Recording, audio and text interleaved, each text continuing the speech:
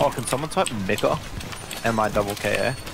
I don't want to do I that. think it's just like NI anything anything AA will get you banned.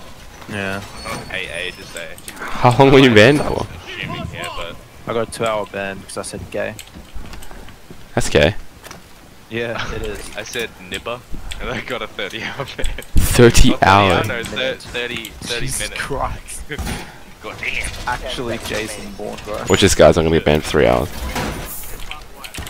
Down to five seconds. Op 4 located the God, biohazard don't do container. it. Op 4 has located the biohazard container.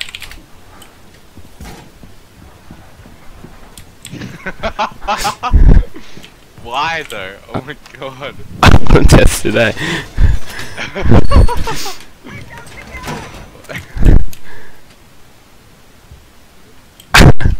It takes a while. It was pretty quick for me actually.